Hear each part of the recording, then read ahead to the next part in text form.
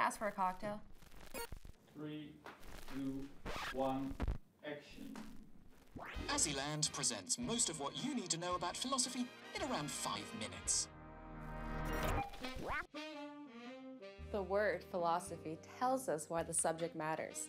It's originally a word from ancient Greek. The first part, philo, means love. The second part, sophia, means wisdom. So philosophy means quite literally the love of wisdom. But what does wisdom mean? Let's begin at the beginning, shall we? Plato. For Plato, the essence of living a wise life came down to the command to know yourself. His big idea was that our lives so often go wrong because we don't give ourselves time to think carefully and logically, meaning that we often end up with the wrong values, careers, and relationships. I want to marry the princess. You marry the princess? Plato observed how proud people were about their instincts, making snap decisions based on how they felt. He compared this to being dragged along by a group of blindfolded wild horses. Taoism. Taoism, or the Way, is based on the concept of Wu Wei, which means non-doing or doing nothing. But it doesn't mean being lazy. Wu Wei is connected to reverence for the natural world.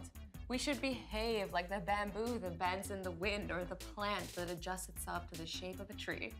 Instead of trying to force things, we must put our egos aside to be at one with the environment.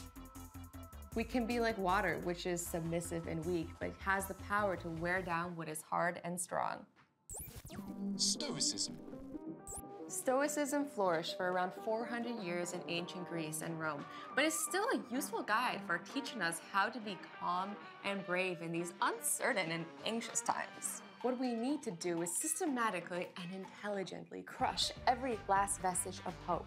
It is far better, the Stoics propose, to courageously come to terms with every worst possibility and then make ourselves entirely at home with them, embracing what could happen if our worst fears came true.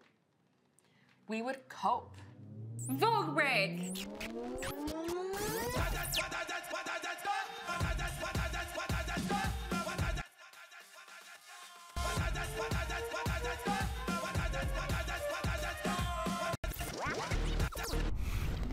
Machiavelli. Machiavelli said wicked people use lies, threats, and violence to get their way. And that's why they rule the world. Machiavelli's most famous book, The prince. The Prince, gave advice to princes who ran things in those days on how to get things done. The Prince was not a guide to being a tyrant, it's a guide about what nice people need to learn from tyrants so they can be effective. Manstool? Nietzsche. Nietzsche's boldest assertion was that God is dead and we killed him.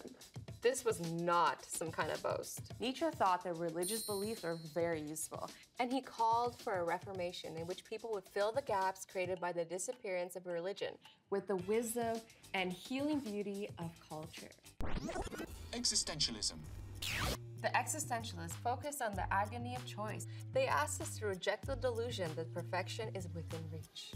That sinking feeling that we had the option to choose correctly but failed is an illusion. Disappointment is just an inevitable characteristic of the human condition.